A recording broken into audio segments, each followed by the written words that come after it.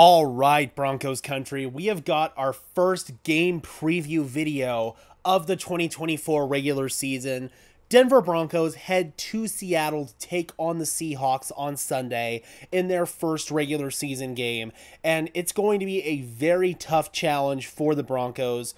Obviously, going up to Seattle, one of the toughest places to play with the 12th man. The crowd noise up there is absolutely insane. Them or Kansas City have been tied for the loudest crowd noise of a professional sports stadium. So that is always a challenge. The Broncos are going to have to be sound with their communication all of their nonverbal communication, especially. Make sure everybody's on the same page. No penalties, no pre snap penalties, especially. All that stuff's going to be key. But in this video, what I really want to focus on is Bo Nix going up against a Seattle Seahawks defense that has a new identity heading into 2024 under new head coach Mike Macdonald and by extension new defensive coordinator Aden Durde. But with both of those guys, they're bringing in a scheme that pretty much everybody in the NFL wants a piece of right now. Remember a few years ago when the Vic Fangio defensive scheme took wave in the NFL? Well, this scheme that Mike Macdonald has run for the last two years as the defensive coordinator of the Baltimore Ravens is really taking waves. I mean, Baltimore still runs that scheme. The Chargers now run that scheme under Jesse Minter. The Chargers run, or I'm sorry, the Titans run that scheme with their new defensive coordinator. And there's a couple of other teams as well. The Miami Dolphins with defensive coordinator Anthony Weaver. So this scheme is really becoming the new secret sauce in the NFL. What is this defensive scheme? So it's a single high man coverage scheme mostly. It's a scheme that the Baltimore Ravens have run for several years, but what Mike Macdonald was able to do was he went to the college level with Jim Harbaugh at Michigan for one season after being a defensive assistant in Baltimore for several years. He went to Michigan to be their defensive coordinator. And he simplified the terminology of this scheme to make it easier to teach, especially to young players, because in college, you want to be able to run some of these NFL level concepts, but the terminology and all of the assignments are just really hard to teach. Mike Macdonald stripped all of the BS out of it and just stripped everything down to its core and made it really easy to communicate for these young players. He then brought that simplified terminology over to the NFL when J- when John Harbaugh brought him back to be his defensive coordinator in Baltimore he was able to run this scheme at a very high level. Pressure is a key element of this scheme, especially simulated pressure. What that means is you're showing that you're potentially going to rush five, six, maybe even seven guys at the line of scrimmage, but then you back out and you only rush four of those guys and drop the rest in coverage. But the key is you don't know offensively which one of those guys is going to come on the rush and which one of those guys is going to drop into coverage.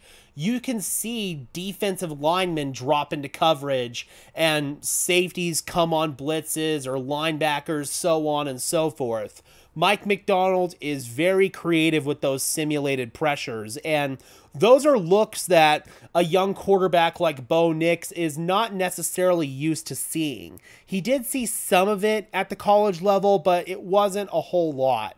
He's going to see quite a bit of simulated pressure looks in the NFL, and my concern is that with this Mike Macdonald defensive scheme, it's going to sort of really challenge Bo Nix's processor.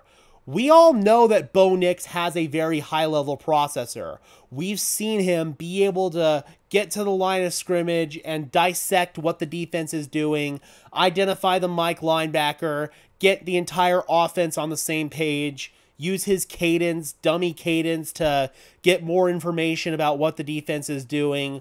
All of that has been really, really good from Bo Nix so far but it's going to be tough when you combine this defensive scheme that already gives you a lot of complicated and exotic looks with an environment like Seattle where the communication is already going to be strained because of the crowd noise.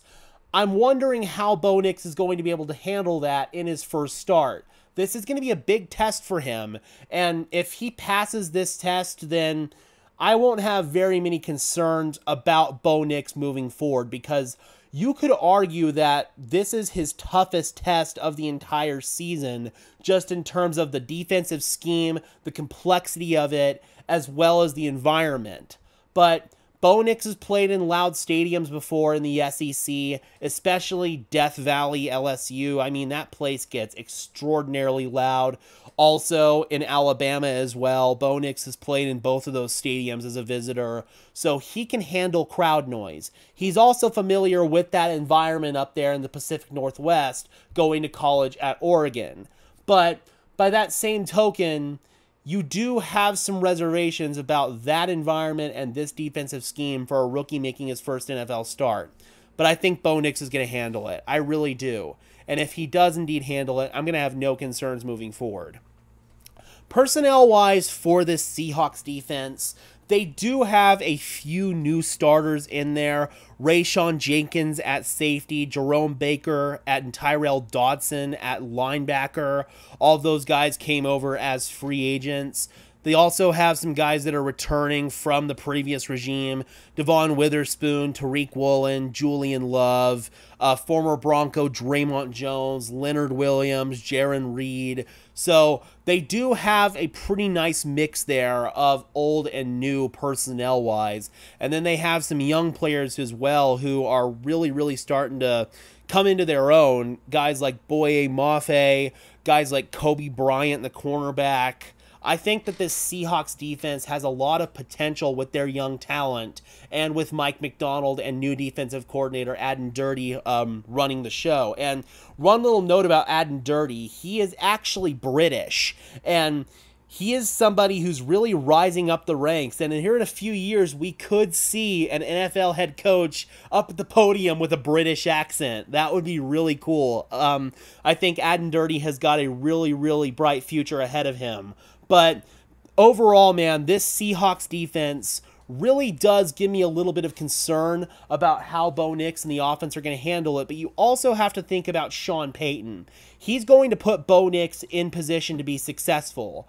They're going to emphasize the quick game. Sean's going to make sure that that ball comes out of Bo's hands at a lightning fast pace. They're also going to run the football all those kinds of things in order to mitigate Bo Nix potentially having to do too much out there.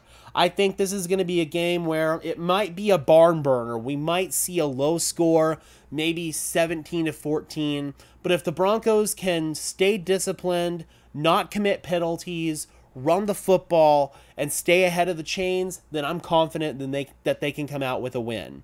This will be just the first of many game preview videos here on the channel, but the main storyline is how is Bo Nix going to look in his first NFL start, and right now he does have a very tough test of ahead of him against the Seattle Seahawks defense, but there's also the factor as well that this is the first game where all of these players are playing together on that defensive unit, so maybe the continuity won't quite be there right away.